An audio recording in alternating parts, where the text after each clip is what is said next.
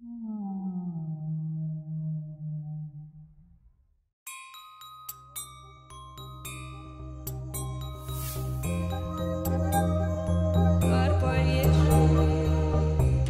wiem, gdzie bym była, gdyby nie Tadeusz.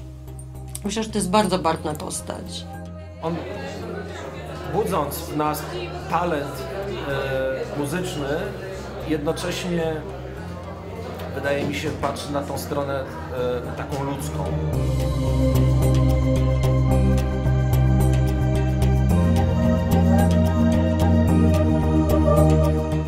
Jak go zobaczyłem po raz pierwszy, to pomyślałem sobie, o, tu jakaś magia będzie się działa, bo tu siedzi przede mną druid. Mój tata zawsze był kosmitą wśród y, właściwie chyba wszystkich kręgów, w których się poruszał.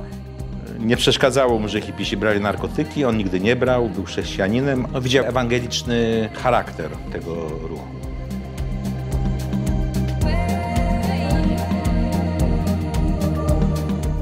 Rodzice brali czynny udział w, w działalności podziemnej. Na ulicach zoriło się od żołnierzy.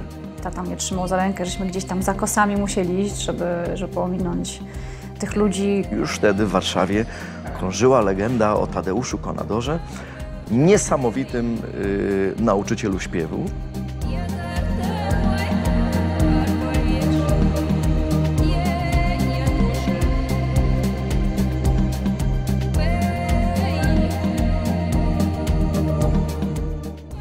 Tadeusz jest osobą y, kochającą swoich uczniów.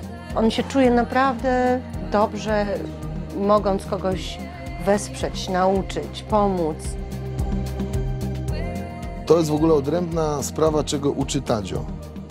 To jest chyba w ogóle y, tajemnica. Słucha, żeby znaleźć barwę ucznia, żeby znaleźć to, co ma najlepsze w sobie. To są pewne uniwersalne prawdy i reguły, które musi znać po prostu wokalista.